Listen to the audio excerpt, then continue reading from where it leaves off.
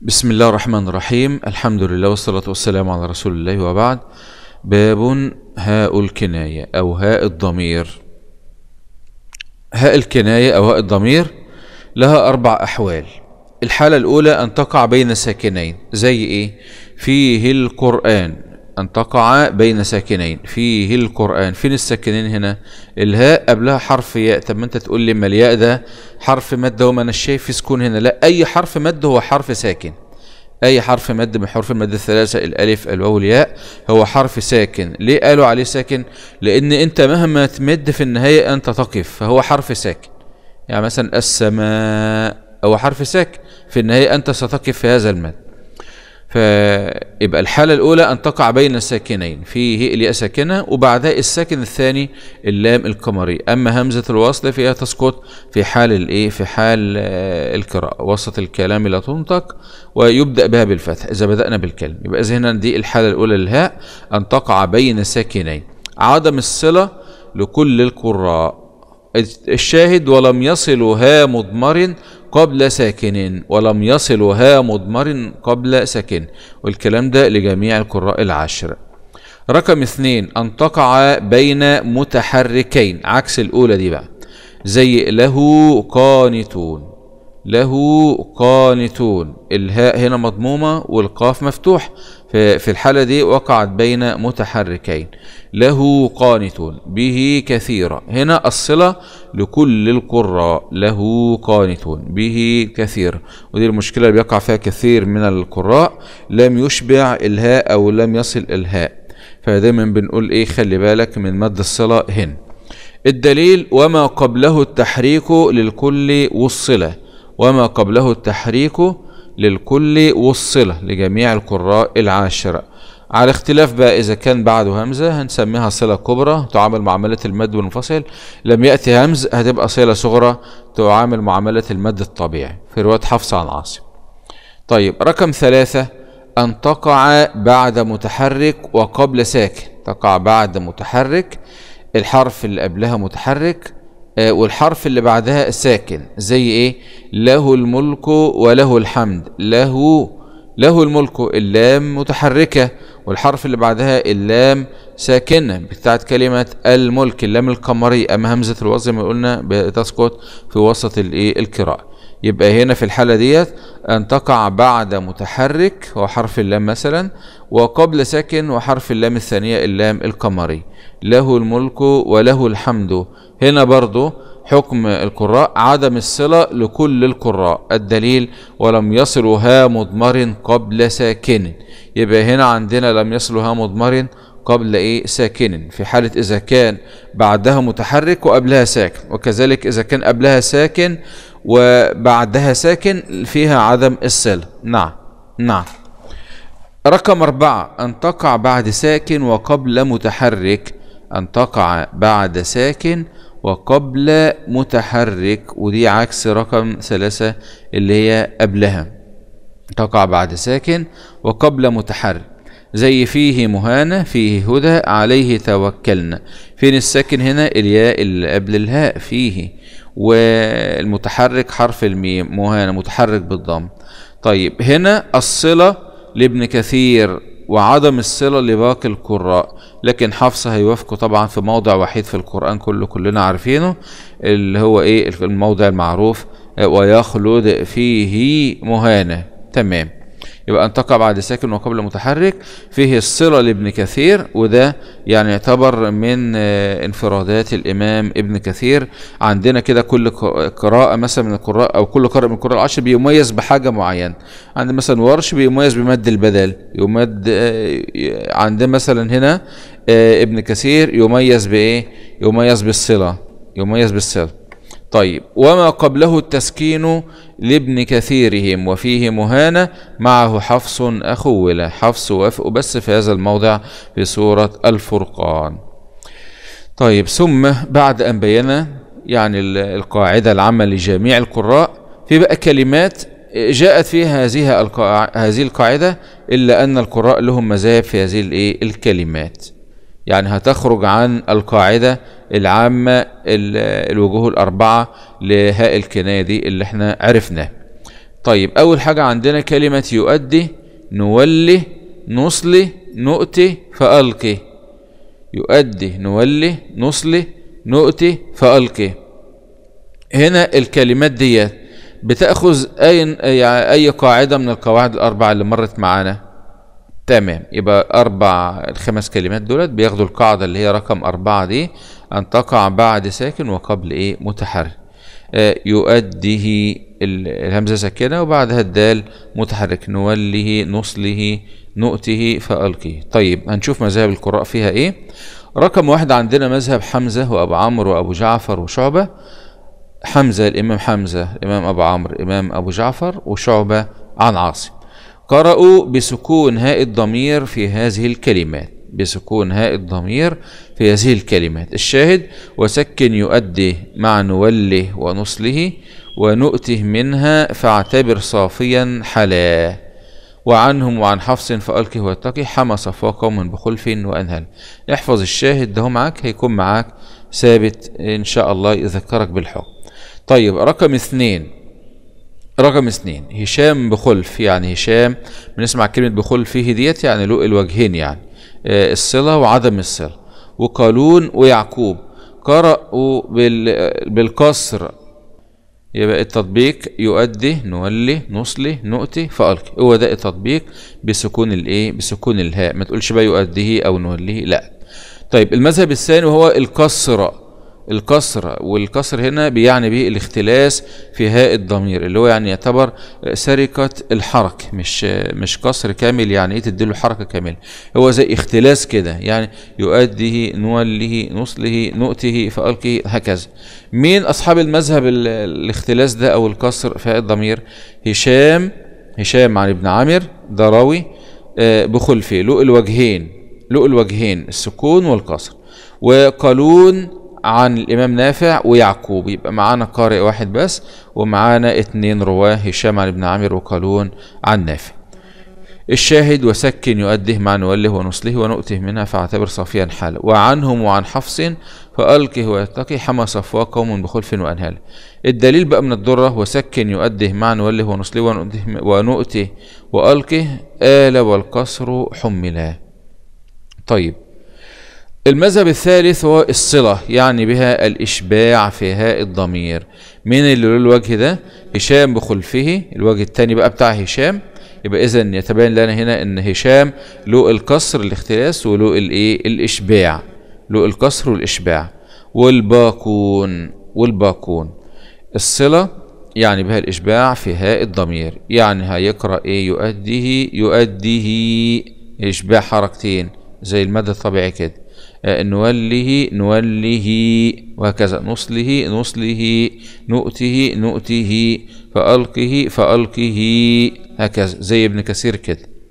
يبقى هشام بخلفه والباقون. الشاهد وسكن يؤده مع نوله ونصله ونؤته منها فاعتبر صافيا حلا وعنهم وعن حفص فألقه ويتقي حمى صفوه قوم بخلف وأنهلا من الضرة ويأتي يبقى الدليل من الضرة برضو احفظه معاك ويأتي أتى يسر وبالكسر طوف وأرجي وأرجي بن وأشبع جود وفي الكل فانكل طيب هننتقل إلى كلمة ويتقي ويتقي كل القراء. يقرؤون بكسر القاف إلا حفصا يقرأها بالسكون. كل القراء هيقرأوا الكلمة ديت ويتقي آه ويتقي قي قي بكسر القاف إلا حفص الوحيد اللي هو هيقرأها إيه؟ بالسكون ويتقهي أبو عمرو وشعبة شعبة عن عاصم وخلاد عن حمزة بخلف عنه يعني خلاد له الوجهين وابن وردان. قرأوا بالسكون هاء الضمير فيها. قرأوا بالسكون هاء الضمير فيها. وعنهم وعن حفص فألقه ويتقي حمى صفاكم بخلف وأنهال من الضرة كي يتقه وامدد جد وسكن وسكن به ويرضه جاء وكسر حم والإشباع بجلا. طيب ننتقل إلى قالون وهشام بخلفه وحفص ويعقوب وابن جماز. أنا كنت بداية كده بعمل رموز زمان كده أقول مثلا إيه من اللي بيقرأ بالسكون هاء الضمير في كلمة يتقي مثلا؟ يتقي. كنت وضعت لها كده إيه زي آه، آه، جبت الرموز بتاعتها قلت قلت لك إيه حسق ابن وردان. حسق ابن ومعاهم ابن وردان. يعني إيه؟ أعني بها الحاء لابو عمرو والصاد لشعبة والقاف آه، لخلاد. ماشي؟ ومعاهم ابن وردان من الضر. حسق ابن وردان عشان تفهم بيها لأن الأبيات يعني ممكن آه تجد فيها صعوبة شوية في حفظها. حسق وابن وردان. بيقرأوا بسكون هاء الضمير فيه. آه. طيب رقم اثنين قالون عن نافع وهشام بخلفه يعني له الوجهين وحفص ويعقوب وابن جماز. وابن جماز لهم إيه؟ الاختلاس في هاء الضمير في كلمة يتقي. تمام؟ الاختلاس في هاء الضمير. يتقيه كده. الاختلاس يعني سرقة الحركة. آه وقل بسكون القاف.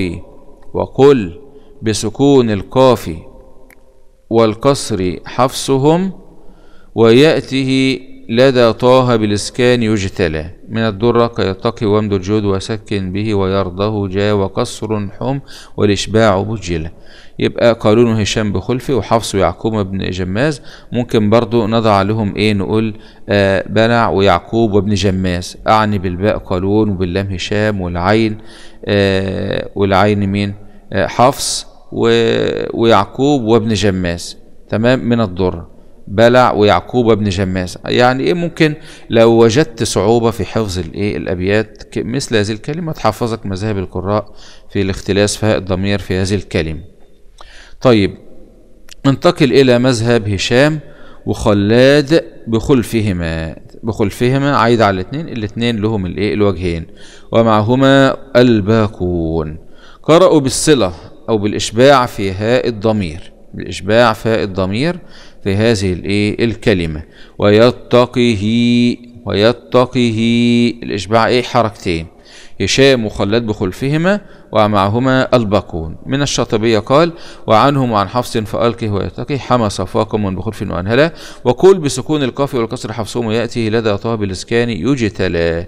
من الضرة كيتقي وامد الجود وسكن به ويرضه جا وكسر حم والإشباع بجلا. الآن ننتقل إلى كلمة ومن يأته مؤمنا ومن يأته مؤمنا كلمة يأته هاء الضمير فيه. نسجد أول مذهب معانا مذهب السوسي عن أبي عمرو. قرأ بسكون هاء الضمير فيها في هذه الكلمة ومن يأته مؤمنا ومن يأته مؤمنا. الشاهد ويأته لدى طه بالإسكان يجتلى. هنا الدليل واضح خالص الياء للسوس ويأتيه لدى طه بالإسكان يجتلى. في سورة طه. طيب رقم اثنين مذهب قالون بخلفه يعني له الوجهين ومعاهم رويس من الضرة القصر أو الاختلاس في هاء الضمير. قالون بخلفه ورويس قرأوا بالاختلاس بالاختلاس في هاء الضمير. إلا أن عدم الصلة لقالون يخالف طريق التيسير إذ هو من طريق أبي الحسن طاهر بن غلبون وليس من طريق أبي الفتح فارس. هذا كلام للعلم يعني. الشاهد وفي الكل كسر الهاء بان لسانه بخلف وفي طه بوجهين بجلا. من الضرة ويأتي أتى يسر وبالكسر طف وأرجه. المذهب الأخير قالون بخلفه له الوجهين ومعه الباقون. قرأوا بالصلة يعني الإشباع آه، يأتيه بالإشباع في هاء الإيه؟ الضمير. وفي الكل كسر الهاء بان لسانه بخلف وفي طاب وجهين بجلة. من الضرة ويأتي أتى يسر وبالكسر طف وأرجه. يبقى إيه؟ ده حال الباقون ومعهم قالون له إيه الوجهين. طيب بالصلة. ننتقل إلى كلمة يرضى. كلمة يرضى. أول مذهب عندنا ثلاث مذاهب في هذه الكلمة. يبقى مذهب الباكون ده عرفناه ممن لم يذكر ممن لم يذكر. أما قالون فذكر معنا فهو لوجه آخر بيدخل مع الإيه؟ الباقي كلمة يرضى. المذهب الأول سكون هاء الضمير سكون هاء الضمير يرضى آه وصلا ووقفا يعني.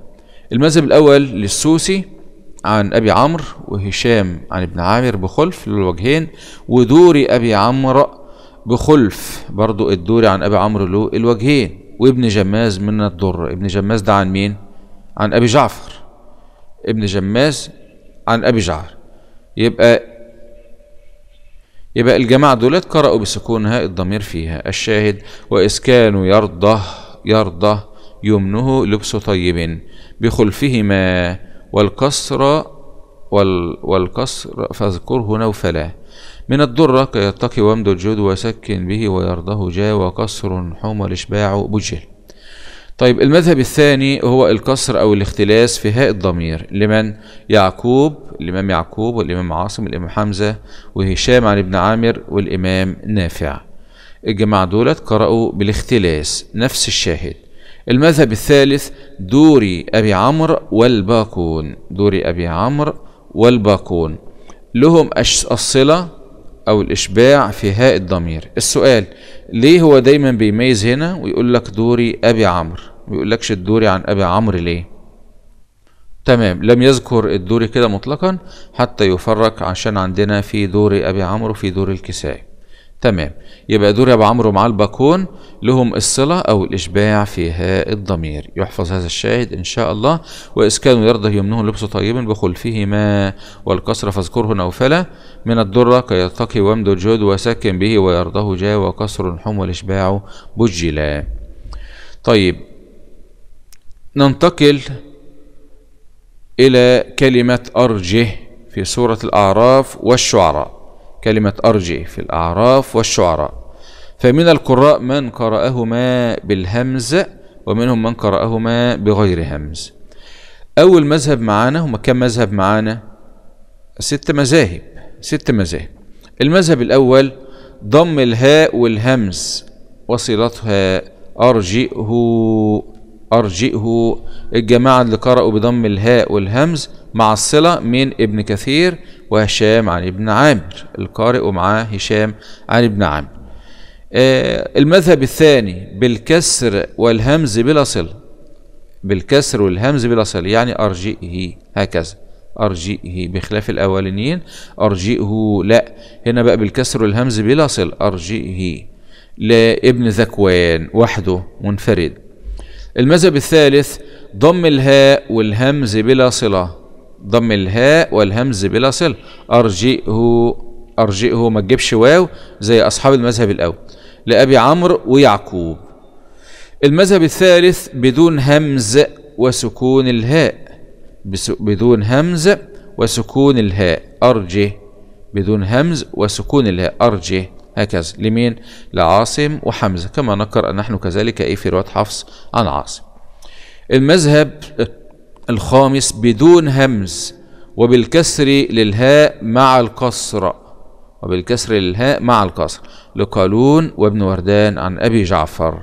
بدون همز وبالكسر للهاء مع القصر. أرجه أرجه. بدون همز وبالكسر للهاء مع القصر. طيب المذهب السادس والأخير وهو بدون همز وبالكسر للهاء مع الصلة بالكسر للهاء مع الصلة لورش عن الإمام نافع والكسائي وابن جماز وخلف. يعني التطبيق هيكون إزاي؟ يبقى أرجه أرجه مثل قارون بن وردان إلا هنا بنزيد الإيه؟ بنزيد الصل. طيب الشاهد ده نحفظه للجميع. آه الشاهد الأول وعى نفر أرجئه بالهمز ساكنا وفي الهاء ضم لف دعواه حرملة. وأسكن نصيرا فاز واكسر لغيره وصلها جوادا دون ريب لتوصله. وملحوظة يعقوب وافق أصله. طيب كذلك وأسكن نصيرا فاز واكسر لغيرهم وصل جوادا دون ريب لتوصله وأسكن نصيرا فاز واكسر لغيرهم وصلها جوادا دون ريب لتوصله وهنا عشان ابن وردان جمعنا مع قالون بدون همز وبالكسر الهاء مع الكسر يأتي الشاهد من الضرة ويأتي أتى يسر وبالكسر طف وأرجه وأرجه بين وأشبع جدوى في الكل فانقلا. ونفس الشاهد لورش والكسائي وابن جماز وخالف بدون همز وبالكسر الهاء مع الصلة. يبقى دي المذاهب الستة للقراء في كلمة أرجه التي جاءت في سورة الأعراف وسورة الشعراء لمن قرأ بالهمز أو من قرأها بغير إيه؟ بغير همز. ننتقل إلى آخر حاجة معانا في باب هاء الكناية أو هاء الضمير وهي كلمة فيه مهانة. فيه مهانة في سورة الفرقان وكذلك في سورة الكهف وقوله تبارك وتعالى ما أنسانيه إلا وقوله تبارك وتعالى عليه الله في سورة الفاتح. عندنا أول مذهب معانا فيها مذهبين مذهبين المذهب الأول لحفص وابن كثير فيه مهانة فيه مهانة بالصلة والباقون بكسر الهاء فقط بلا صلة حفص وابن كثير. فيه مهانة بالصلة والباقون بكسر الهاء فقط بلا صلة يعني فيه مهانة من غير ما تعمل صلة بقى زي حفص.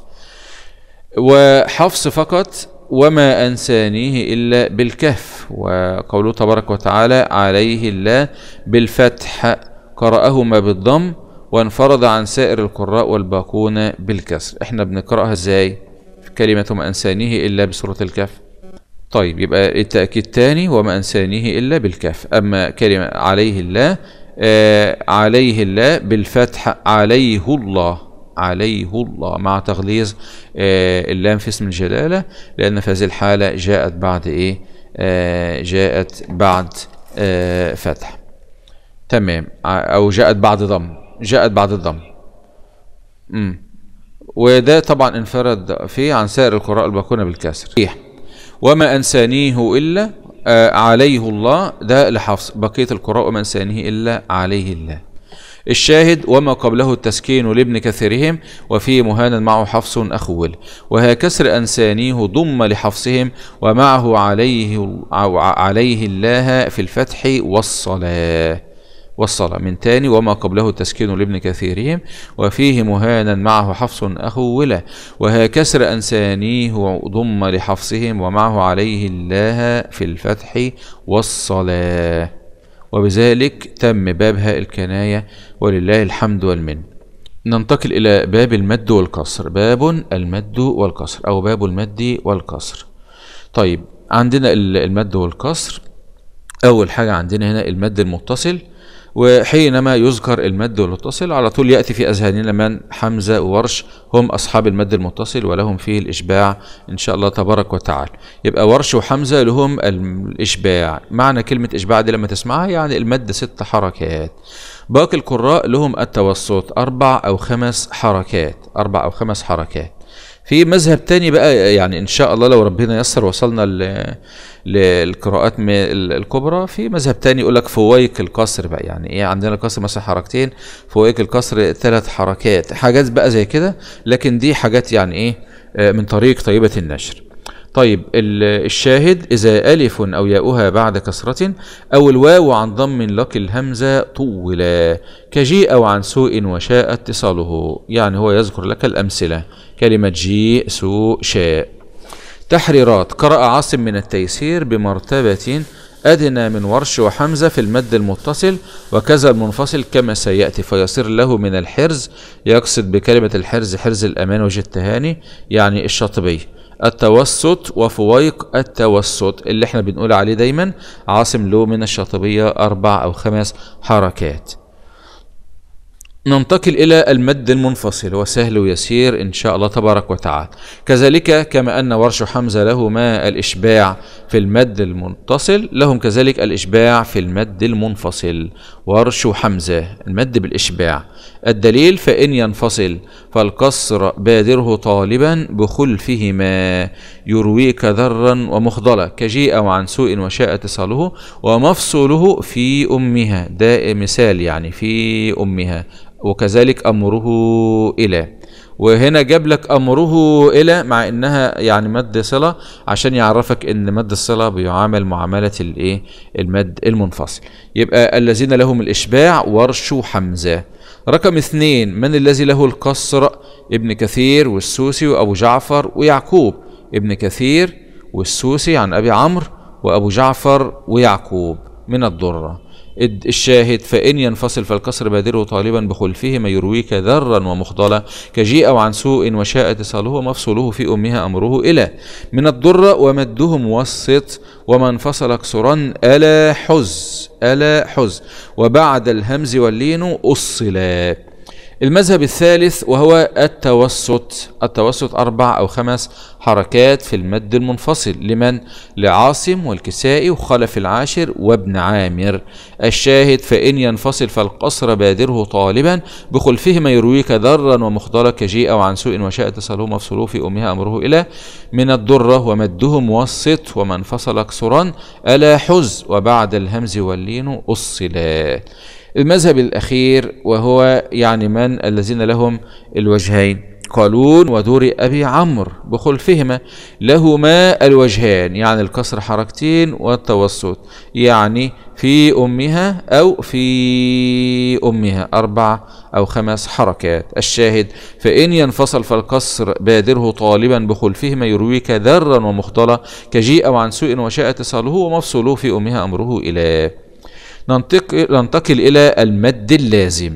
المد اللازم ده لجميع القراء ما فيش اختلافات فيه. ده طبعا إيه؟ معروف. يبقى جميع القراء لهم لزوم الإشباع بلا خلاف وصلا ووقفا. لهم لزوم الإيه؟ الإشباع. وعن كلهم بالمد ما قبل ساكن وعند سكون الوقف وجهان أصلا.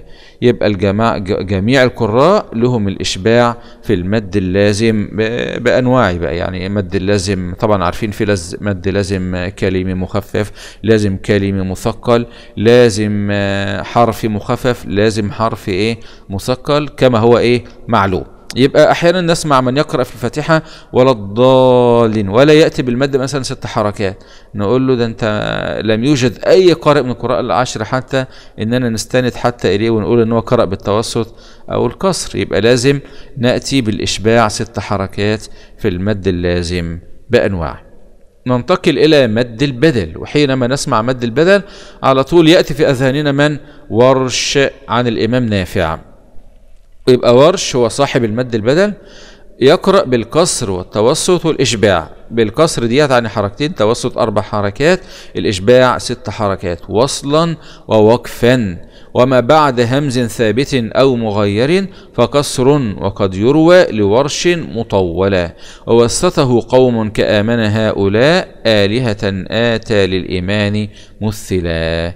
ويستثنى لورش من مد البدل فلا يمدها إلا بالكسر فقط. كلمة إيه؟ هذه بقى كلمات يعني خرجت عن القاعدة زي كلمة إسرائيل. وما وقع بعد ساكن صحيح مثل قرآن آه، مذؤومة مسؤولة يؤاخذكم حيث وقعت. الكلمات التي آخرها همزا منونا بالفتح مثل إيه؟ دعاء آه، نداء اللي إحنا بنقول عليه مد إيه؟ مد عوض. بنقف عليه مد عوض حركتين. دعاء ما نقولش عليه بقى مد بدل. لا خرج عن القاعدة. نداء ما بعد همز الوصل نحو إيتي إيتوني حال الإيه؟ الابتداء. الباقون قرأوا بالكسر في المد البدل كما نقرأ نحن في رواية حفص عن عاصم. طيب ننتقل إلى مد اللين. مد اللين المهموز زي كلمة شيء وكلمة سوء. شيء وسوء. مد اللين.